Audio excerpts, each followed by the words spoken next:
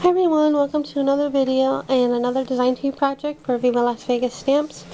And today I'm going to show you a journal page that I did a few weeks ago in my art journal. This art journal is one of the Strathmore's visual journals in 3.5 by 5, the smaller one, and it's the mixed media paper. And I haven't worked with this paper um, or in this journal only done two pages and so far I like the paper. It's nice and thick just like the watercolor paper. The size I'm not too sure on yet because like I said it's only my second page that I've, that I've done.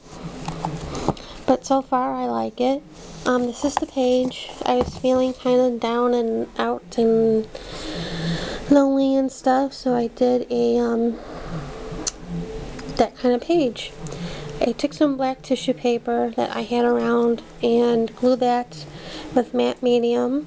And after that dried I took um, the stencil, the Spark stencil and some white paint and um, with the sponge sponge the, the stencil on the paint on the stencil on the page and then while that was drying, I stamped her out. And this is one of uh, Mary Vogel Lozinak's um, images that Viva Las Vegas carries.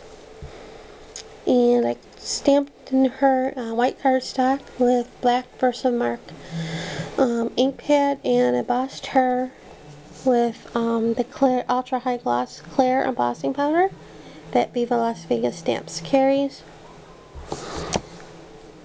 and um, I colored her the arms and the face with a and the hat with um, big market markers. This I think is the pink no or the peach. And then the hat is like a magenta. And then with the um black with some black craft paint I just um painted, you know, what the tissue paper didn't get because I didn't want to cover the holes in the binding.